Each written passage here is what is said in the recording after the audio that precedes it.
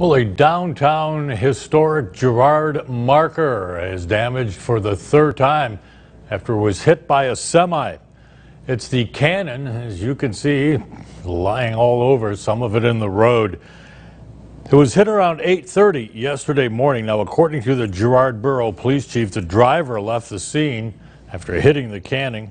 The driver, though, was found, and uh, at this time, we're told no charges have been placed.